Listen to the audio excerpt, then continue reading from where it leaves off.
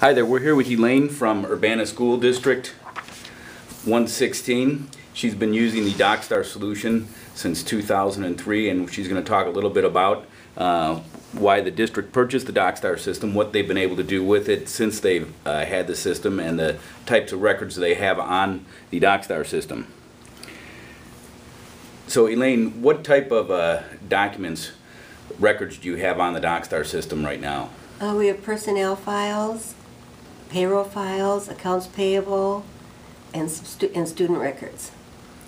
Okay, and your student records, are those, were they all in paper? They were in paper and they were folders from, for many years. Okay, and um, you also have some in microfilm too that you're now starting to have us convert it onto the DocStar system? Yes, uh, we're going back almost 20 years worth of files. Okay, and why did you decide to take the microfilm and put that onto the DocStar solution? Uh, Our microfilm um, printer is, we can no longer get a maintenance agreement, and when the, if it breaks, uh, we are not able to buy another one to go with our microfilm reader. Gotcha, so it would have been a little bit more expensive to, It would have been expensive, yes. um, what, uh, overall, what has the experience been with DocStar? Everybody loves it that have to uh, go and retrieve data. A lot of times they have to go find days for substitute teachers for the retirement system, and it's easier for them to go into DocStar than go downstairs to the boxes and pull the information out. I see, so to improve the overall efficiency, Uh, Yes. and how many boxes or file cabinets do you feel that you have scanned into the system? About 50 About filing 50. cabinets. So was that, did that free up a lot of real estate? We uh, actually were able to make one room into an office for somebody. Oh, nice.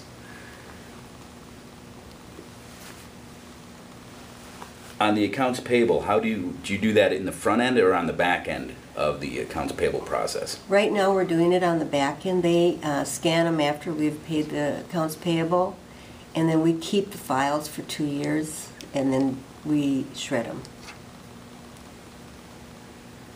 And on the payroll re- records? We are working on that, but we are actually trying to get caught up so that we only have two years' worth of files, and if we're really lucky, might- we might get them all doc-starred.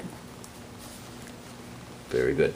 And how was the learning of the DocStar system? How was that? Was that a big transition or? No, everybody learned it quickly, and it's easy to use. I've had no problem with anybody. We've had many different people scanning. And when you started this, this process seven years ago, what was the first department that you went with to? We went uh, with the personnel records, and it took a couple, three, four years to get them scanned. So you had quite a few of them. We had quite a few of them. We had probably 10 filing cabinets full of them. Okay, but now they're all on, the room's They're clear. all on, and we, uh, when the people leave, we scan their records right away. So you're using it on an ongoing? Ongoing, Daily all the basis? time, So you're not, you're not creating files and then going back and scanning them, they're being scanned? Um, w- We actually create the files and that, and then scan them when they leave. And then scan them when they leave? Okay. What are some other benefits that you maybe weren't aware of when you first were getting the DocStar system that you now found out? Like, it saves us time here or money or Oh, certain? It's just, it saves, uh, everybody that uses it, it says it saves them a lot of time in retrieving records when they need to and looking up transactions. And you have to, do you do any, like at the end of the year, a lot of people will box up records, clean out file cabinets. Has that task been eliminated? It pretty much has been eliminated. There's very little that we have to box up and keep. So overall, it makes your Oh, district run, It's ver- very, it's really nice. We're trying to clear out more, s- more storage space. so can you imagine working without a DocStar No, system? We're really happy that we have one. Everybody's been happy with it. Great. Well, um, how has the uh, service um, and support been from Digital Paper Solutions and DocStar? Oh, it's been really good. They've, uh, when we've had our printers down, they've taken care of them. Uh, I actually had one of... you mean? Scanners, yes, the scanners. Had a raid go, one of Right. go, and there was somebody down here in a day fixing it. Okay. So you'd highly recommend it to others? Oh, yes. schools and Yes, businesses? I would recommend it to s- other schools and Businesses. businesses. Yes.